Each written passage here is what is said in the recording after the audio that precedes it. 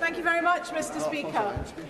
The Prime Minister once wrote, It is a wonderful and necessary fact of political biology that we never know when our time is up. long, long after it is obvious to everyone that we are goners, we continue to believe our duty is to hang on to the perks and privileges of our posts.